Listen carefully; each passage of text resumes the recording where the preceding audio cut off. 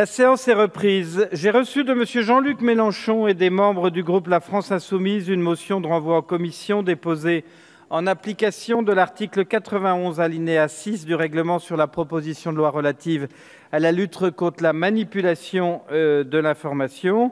Et je donne la parole à Monsieur le Président Jean-Luc Mélenchon.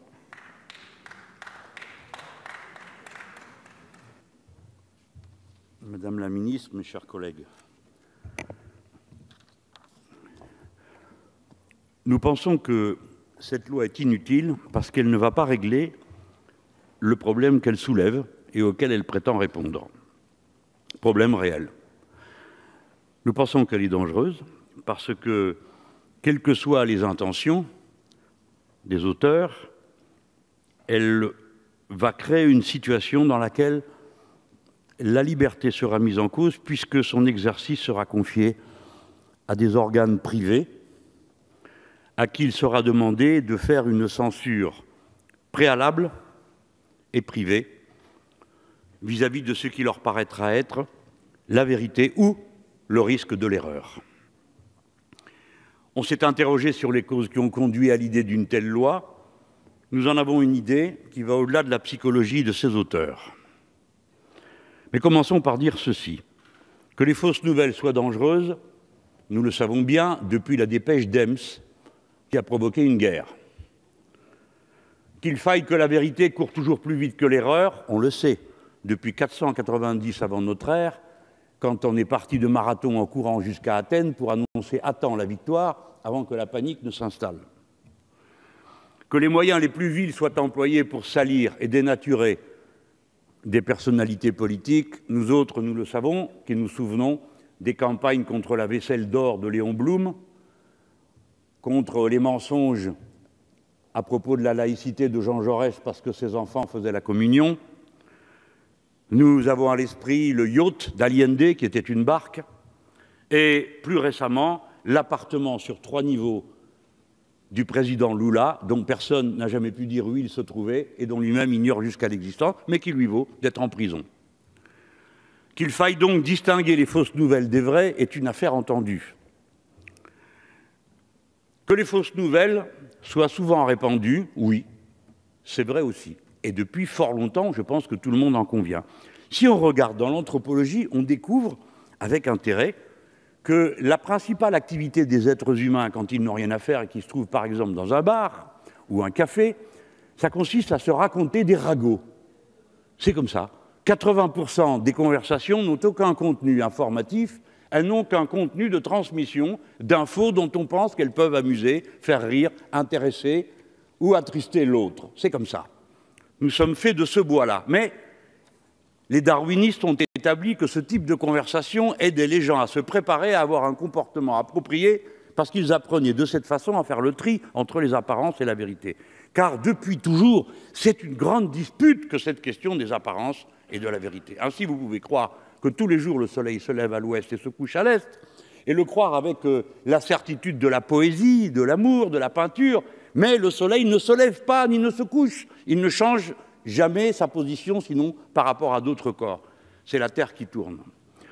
Je le dis parce qu'il faut aussi sourire dans ce type de débat. À la fin, nous restons quand même sur le fait qu'il s'agit de distinguer la vérité de l'erreur par la loi et les moyens qu'on pense mettre en œuvre. Alors, nous divergeons.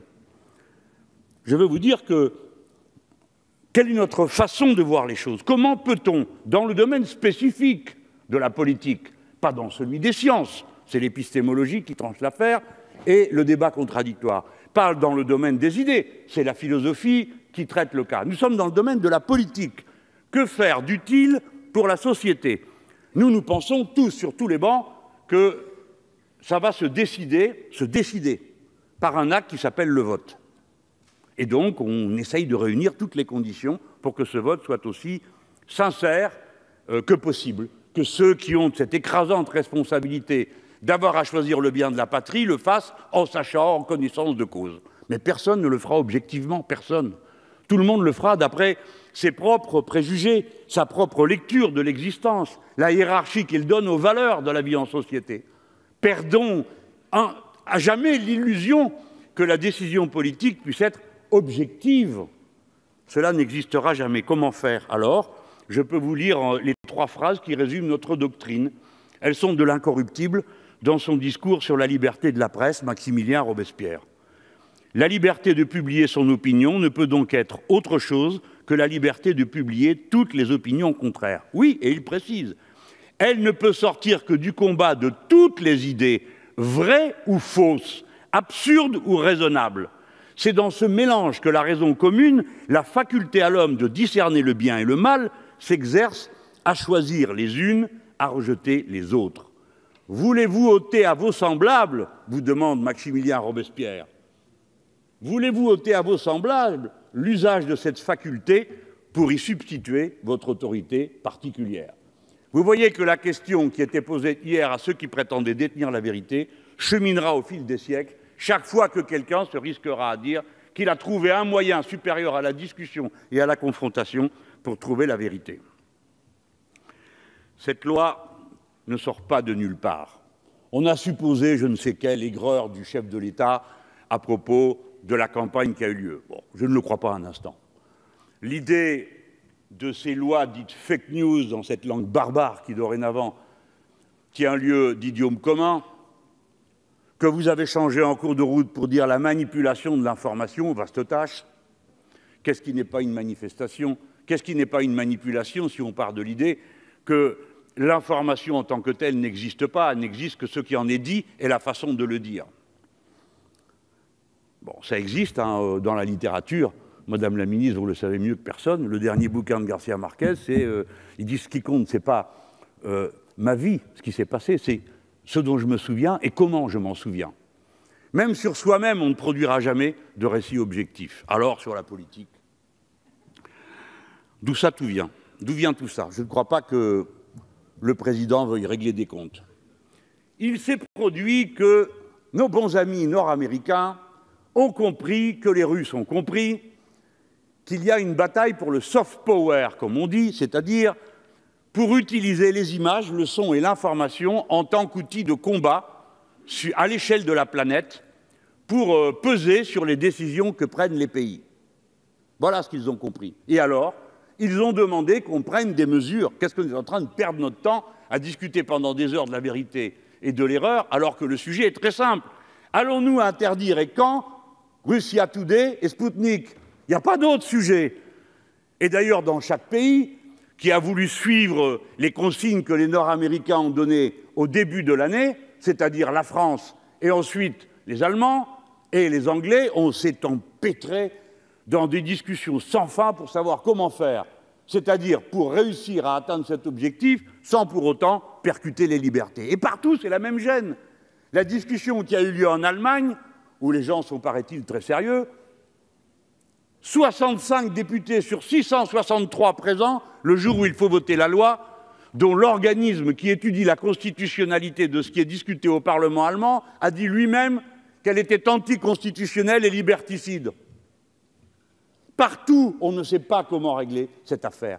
Et voilà l'unique point de départ, c'est cette bataille pour le soft power. Alors, si vous voulez interdire ceux qui, de l'extérieur, répandent des fausses nouvelles ou qui s'expriment par des canaux qui appartiennent à des gouvernements étrangers, vous n'êtes pas sorti de l'auberge. Il va falloir surveiller matin, midi et soir la BBC. Il va falloir surveiller tous les jours Al Jazeera. Et peut-être que les autres vont se mettre à surveiller France 24 dans le cas où France 24 ferait de la diffusion d'une information qui serait tournée du point de vue de l'intérêt des Français. Et il pourrait alors citer le président Chirac lui-même, parce que, en créant France 24, lui, il ne cachait pas l'intention. Il est indispensable qu'un grand pays comme la France puisse avoir un regard sur le monde et diffuser ce regard, diffuser le regard des Français sur le monde, naturellement conforme à notre tradition. Voilà. Tout le monde fait ça. Et puis ceux qui écoutent savent à quoi s'en tenir ou essayent de savoir à quoi s'en tenir. Si vous voulez interdire, alors oui, moi je pense qu'en effet, il faut décider d'interdire Fox News, qui est une machine anti-française à dégoiser sur nous, qui nous insulte régulièrement, qui fait du French bashing parce qu'il trouve que ça s'écoute très bien, et qui raconte n'importe quoi sur la France, y compris des informations qui sont de nature à troubler l'ordre public. Car Fox News a déclaré par exemple en 2015 que les quartiers de la Goutte d'Or, de la Fontaine-au-Roi, de Ménilmontant, de la Porte Saint-Denis ou de la Porte Saint-Martin sont des no-go zones interdites aux non-musulmans où l'on porte des t-shirts d'Oussama Ben Laden et où les islamistes font la loi. Voilà, il faut interdire Fox News parce qu'il menace et trouble l'ordre public sous l'influence d'un gouvernement, celui des États-Unis d'Amérique, qui euh, fait la guerre à toute une série de gens et qui pense que c'est utile de présenter notre situation de cette manière. Alors par quels moyens nous, répondons? Un, le moyen politique, la confrontation de tout. Est-ce qu'il faut y mettre une limite? Ben évidemment, bien sûr qu'il faut y mettre une limite, mais c'est déjà fait, la loi existe. On vous a lu il y a un instant l'extrait de la loi du 29 juillet 1881, article 27, je le relis, la publication, la diffusion, la reproduction par quelque moyen que ce soit de nouvelles fausses, de pièces fabriquées, falsifiées ou mensongèrement attribuées à des tiers, lorsque faite de mauvaise foi, elle aura troublé la paix publique ou aura été susceptible de la troubler, comme Fox News, sera punie d'une amende de 45 000 euros. Qu'est-ce que vous voulez faire de plus? Ça suffit. Il faut... Alors après, oui, on peut se poser une question. Comment faire pour rendre ceci applicable? Il faut donc qu'il y ait des gens qui nous répondent. Ah, mais vous, vous avez trouvé la solution vous pensez d'abord que c'est le CSA qui va en avoir la responsabilité. Ah, mais nous ne pouvons pas être d'accord avec une idée pareille, avec une écriture pareille. D'abord parce que le CSA n'a pas, euh, je veux dire, n'a pas reçu l'onction euh, venue de je ne sais où qui lui permettrait de connaître la vérité mieux que l'erreur et mieux que les autres. Le CSA est composé d'êtres humains qui ont cette caractéristique d'avoir été nommés par d'autres êtres humains qui eux-mêmes ont une caractéristique d'avoir tous une opinion politique parce que les membres du CSA sont choisis par des responsables politiques, il faut bien que quelqu'un les choisisse, puisqu'on ne les élit pas, ce que nous, nous préférerions. Mais ça va très loin, votre affaire. À l'article 4, le CSA peut refuser le conventionnement d'une chaîne liée à un État étranger ou sous son influence. À l'article 5, le CSA peut suspendre la convention d'une chaîne pendant une période électorale ou préélectorale si elle participe à une entreprise de déstabilisation à l'article 6, le CSA peut résilier la convention d'une chaîne si elle est liée à un État étranger ou sous son influence. Ah ah ah Le CSA va donc décider de notre géopolitique. C'est lui qui va dire si tel ou tel est sous influence de l'étranger. Il va dire euh, tel pays veut nous déstabiliser, mais ce n'est pas à lui de faire ça, c'est à nous, à nous, les députés, à nous, les gouvernants.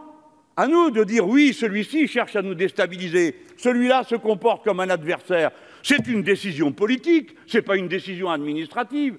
De quel droit un organe administratif va-t-il prendre des décisions géopolitiques? Tout ça est absurde. Mais vous l'avez fait parce que vous voulez vous protéger, je le comprends, mais vous arrivez à un résultat qui est absurde et dangereux.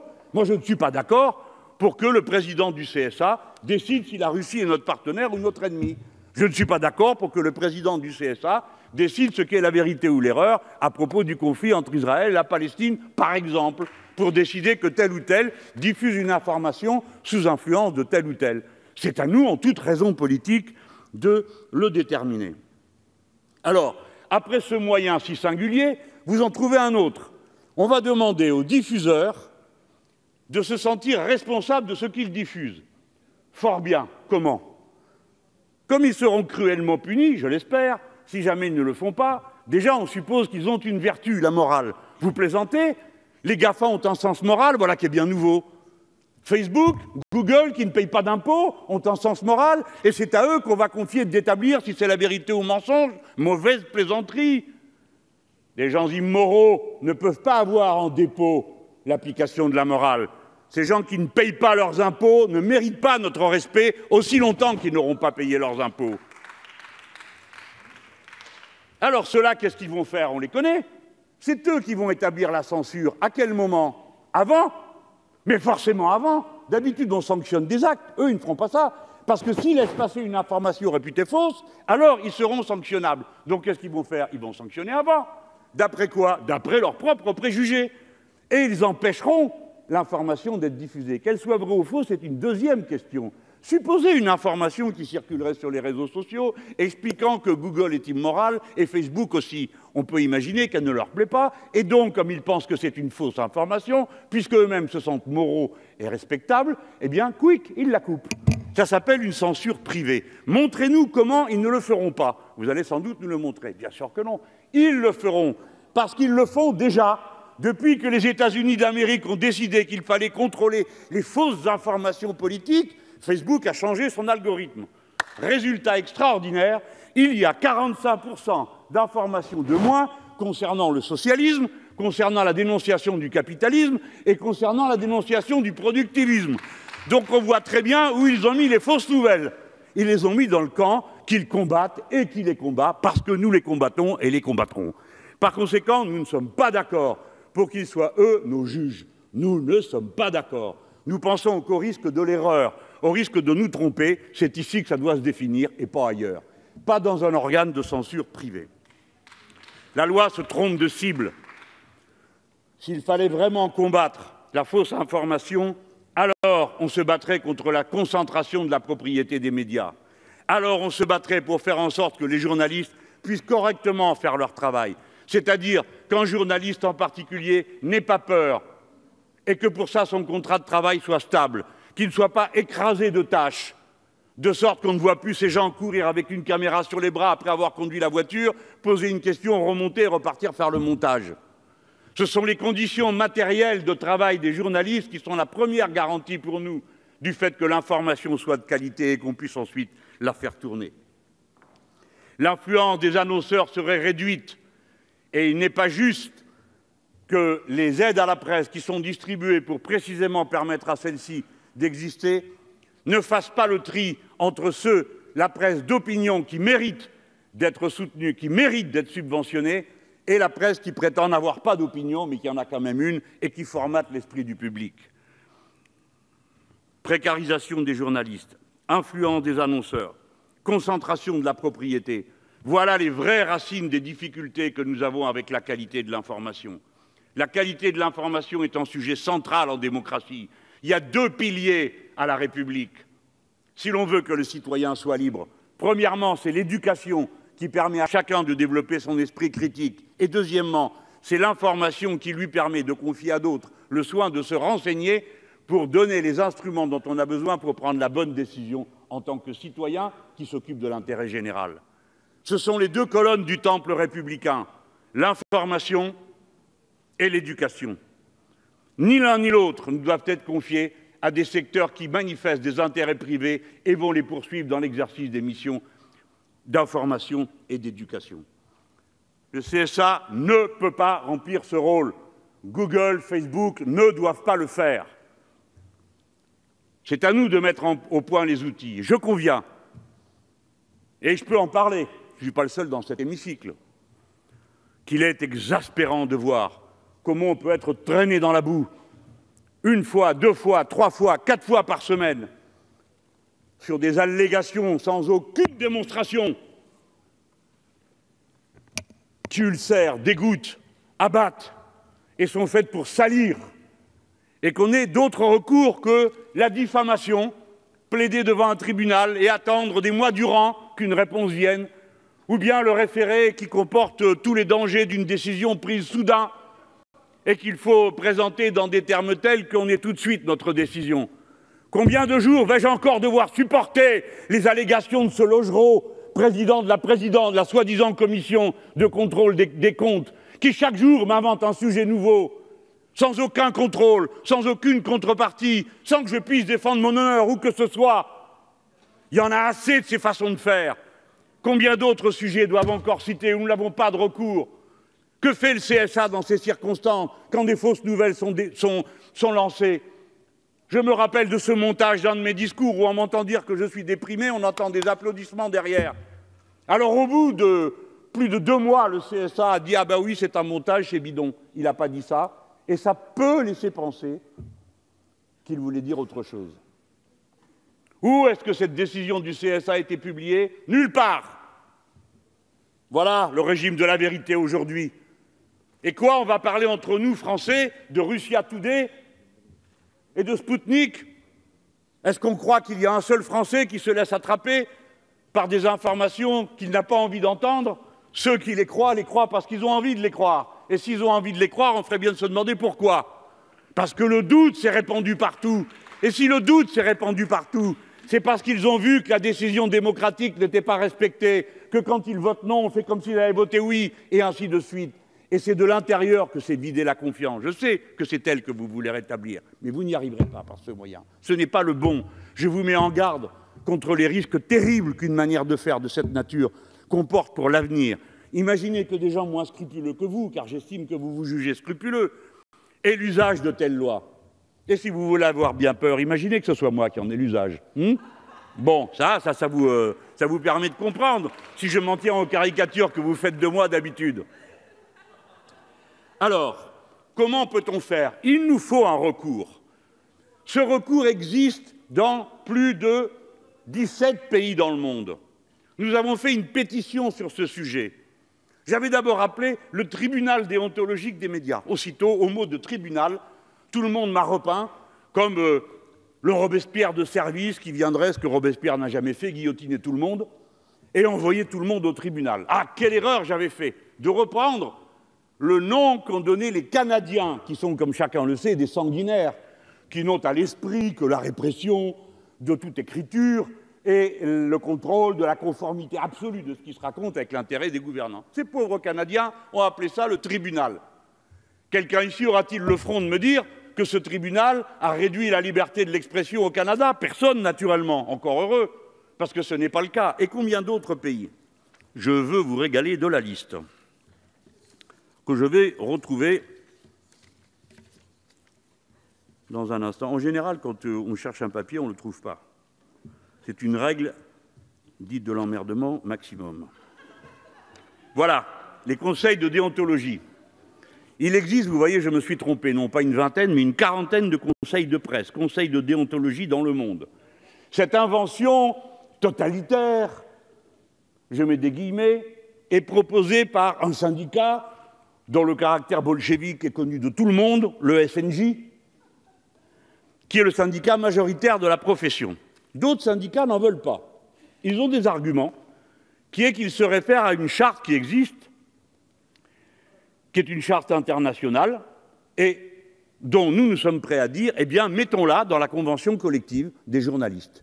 Faisons en sorte que chaque journaliste puisse se réclamer de cette charte en tant qu'argument à l'intérieur de la relation avec l'employeur. Mais ça n'enlève pas le reste. Composer un conseil de déontologie, vous en avez un en Belgique, autre État totalitaire bien connu, il a été créé en 2009. Il est composé de six journalistes, six éditeurs de presse, six représentants de la société civile. Il étudie 130 plaintes par an. Mais les médias doivent publier leur condamnation morale. On ne leur prendra même pas un euro dans ce conseil déontologique des médias. Si on veut leur prendre un euro, on ira en diffamation et c'est la justice qui tranchera. Mais là, il s'agit de morale, d'honnêteté, de sincérité dans les rapports. Le Québec a créé ce conseil de, de presse du Québec, tribunal d'honneur des médias. Il a été créé en 1973. Il est composé de huit membres de la société civile, sept représentants des entreprises de presse, sept représentants des journalistes. Il étudie 200 plaintes par an et il rend public les blâmes. C'est en rendant public le blâme que l'on crée la mécanique vertueuse, parce qu'après, eh bien, celui qui s'apprête ou celle qui s'apprête à écrire quelque chose où il sait lui-même qu'il s'arrange avec la vérité, c'est que derrière, il y aura la sanction du blâme moral qui disqualifie professionnellement. Et tel ou tel pourra refuser à sa hiérarchie, à sa chefferie, rompant ainsi avec la dictature que sont ces chefferies dans la plupart des médias, où il n'y a pas de conseil de rédaction et où les abonnés n'ont aucun pouvoir, peuvent commander des sujets jusqu'à l'écriture de ce qu'ils doivent contenir, ou les images qu'ils doivent aller chercher, nonobstant ce qui se passerait réellement. Alors, chaque salarié pourrait dire Ah, moi, je ne veux pas faire ça parce que je n'ai pas envie, moi, de ramasser le blâme qui ensuite va me disqualifier dans ma profession. L'Allemagne a la même chose. Il a été créé en 1956. Il est composé de deux organisations de patrons de presse et deux syndicats de journalistes dans la tradition allemande de la social-démocratie. Il étudie 1900 plaintes par an. Il faut dire qu'avec des journaux comme le Spiegel, il y a de quoi faire. Hein. Il y a de quoi s'occuper toute l'année. 1900 plaintes par an et il rend public des jugements qui vont de la remarque à la réprimande.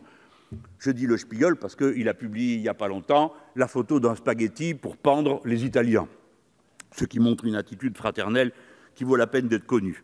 Autres exemples, le Conseil de la presse en Suède, il a été créé en 1916. C'est même pas une nouveauté. 1916, le Conseil des médias en Finlande en 1927. Le Conseil de la presse du Chili, il a été créé en 1991, c'est-à-dire après la chute du tyran, chacun se rappelant du rôle lamentable, écœurant, dégoûtant et criminel du journal Mercurio, qui avait passé l'essentiel de son temps à salir le pouvoir d'Allende et à appeler au coup d'État. Il y a aussi un observatoire togolais des médias, et je pense que nous pourrions nous en servir comme modèle, pour une fois. Ce ne serait pas dans, l'autre sens. Le Conseil de la presse en Suisse qui a été créé en 1977. Qu'est-ce qui fait que vous ne voulez pas de ce Conseil? Voilà pourquoi nous rejetons un texte, car dans le débat auparavant, vous dites on n'en veut pas. Vous voulez bien le CSA, le, Facebook, le Google, tout le monde donne son avis. Mais les professionnels, les parlementaires et le public, non. Pourquoi? Qu'est-ce que vous craignez? De quoi avez-vous peur? Pourquoi on ne le ferait pas? Il y a un amendement que nous avons déposé, il a été rejeté en commission. Pourquoi vous ne l'adoptez pas? Ce n'est pas un, un, un, conseil déontologique mélanchoniste, ça n'existe en plus pas, le mélanchonisme. C'est un conseil déontologique pour le bien de tous, pour la qualité de l'information. Un syndicat de journalistes le plus important le demande. Pourquoi c'est non? Pourquoi au moment où vous décidez de lutter contre les fausses informations, vous refusez un outil qui existe et les autres? Quelle est cette arrogance? Nous sommes donc meilleurs que les Togolais, les Suédois, les Finlandais, les Chiliens, les Suisses, les Québécois Oh Non On peut essayer de faire aussi bien qu'eux.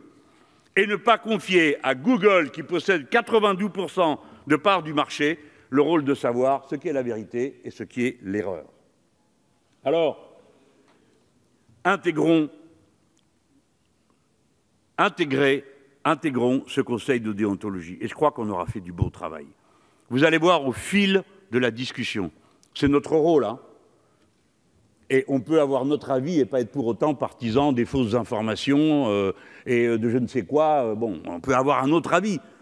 Vous savez, euh, c'est le dissensus qui fonde la démocratie, pas le consensus. Les esprits simples croient que du moment que tout le monde est d'accord, c'est bien. Non, non, ça c'est les dictatures. Là, tout le monde est d'accord, il n'y a pas le choix.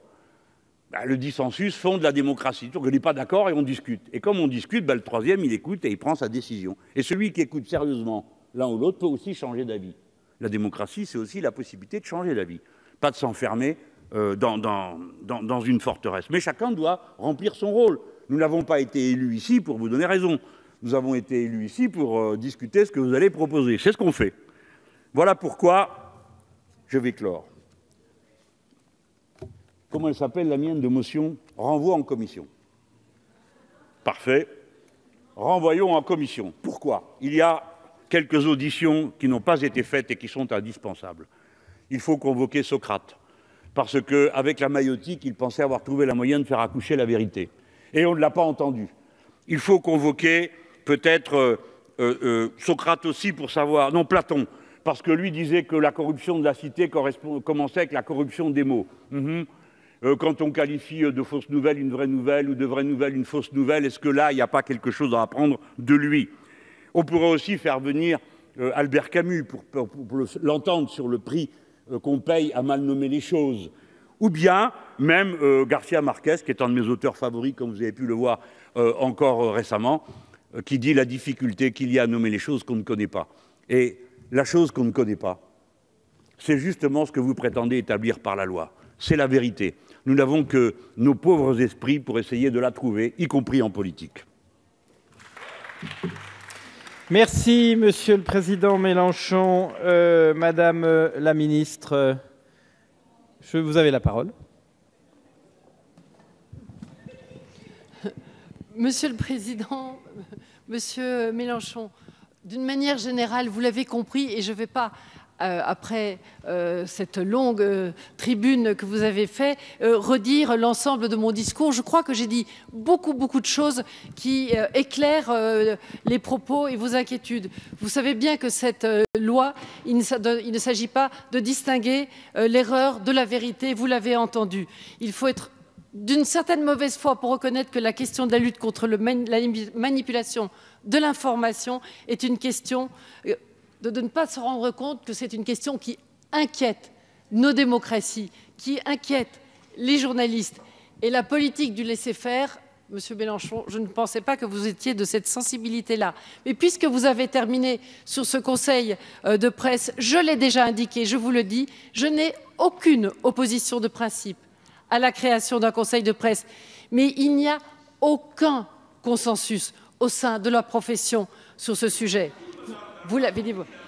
Si un accord était trouvé, je serais très heureuse de parler de ce projet.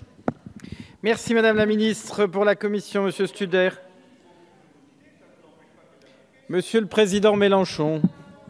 Merci beaucoup, Monsieur le Président. J'en profite pour saluer Socrate et Platon.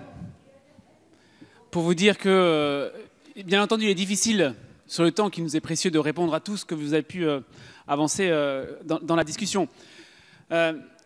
D'abord, sur ce que vous appelez de vos voeux, le Conseil de déontologie, effectivement, en commission, nous en avons parlé. Et j'ai expliqué pourquoi, effectivement, je pense que c'est euh, à la profession de réfléchir à cela, et ensuite aux législateurs, si jamais on n'arrive pas à déboucher, de le faire. Je me suis publiquement exprimé sur cette question-là, et d'ailleurs, rien ne vous empêche, M. Mélenchon, avec votre groupe, de proposer prochainement une proposition de loi qui viserait à cet objectif.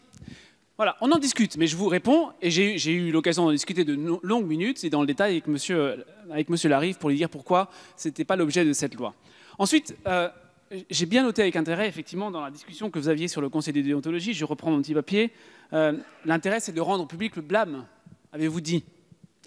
Effectivement, c'est ce qu'on va demander à travers la rédaction de l'article 9 de cette loi, rendre public le blâme envers ceux qui n'auraient pas pris des mesures pour faire en sorte, c'est ce que je disais dans, mon introduction tout à l'heure, de ne pas, en tout cas, défavoriser ceux qui produisent une information vérifiée, sourcée, croisée, c'est-à-dire les journalistes. Puisqu'effectivement, qu'est-ce qu'on demande dans cet article? On demande au CSA de remplir un rôle de supra-régulateur, de mettre autour d'une table tous les acteurs de l'écosystème numérique, les plateformes, les fournisseurs d'accès, les annonceurs, parce qu'ils gagnent de l'argent avec la publicité qu'ils y font, les éditeurs de presse, sur lesquels on a avancé, sur euh, leurs droits voisins récemment, euh, les journalistes qui sont engagés dans des, euh, procédures de normalisation de labellisation, je souhaite par, exemple ce qu'a fait euh, Reporters sans frontières, et donc annuellement, annuellement, le CSA pourra publier un bilan de ce qui aura été fait et de ce qui n'aura pas été fait. Tout simplement parce qu'on s'attaque effectivement à la base du modèle économique de ces plateformes.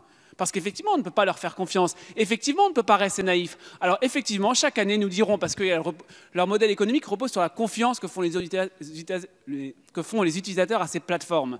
Et donc chaque année, nous pourrons dire publiquement, publiquement, et nous serons ici le relais, nous avons suffisamment de relais pour le dire, cette Assemblée nationale jouera son rôle publiquement. Qu'avez-vous fait? Que n'avez-vous pas fait?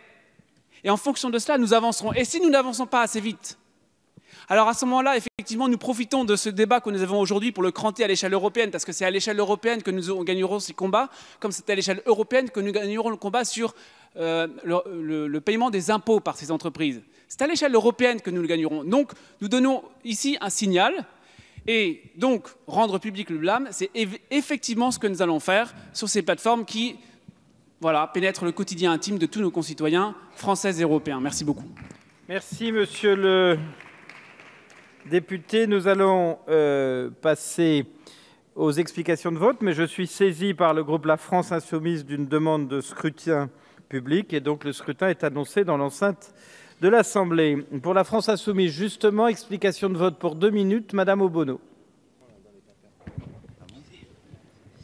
Oui, merci Monsieur le Président. Donc, euh, après euh, l'exposé euh, très complet du président Mélenchon, mon explication de vote va se résumer à, réagir peut-être à, l'interpellation de, Madame la Ministre, parce que je pense que le propos a été assez clair pour justement déplorer la manipulation de, de l'information. Donc je ne sais pas de quelle mauvaise foi, à quelle mauvaise foi vous faites référence, mais certainement pas à la nôtre. Et je pense que les propositions que nous faisons pour euh, argumenter sur le renvoi en commission euh, vont dans le sens de prendre au sérieux euh, ce, danger, ce grave danger pour la démocratie, et vont dans le sens de l'idée qu'il faut prendre plus de temps pour approfondir ce sujet, pour se doter d'outils législatifs qui aient véritablement les moyens de mettre un terme à, ce type de pratique.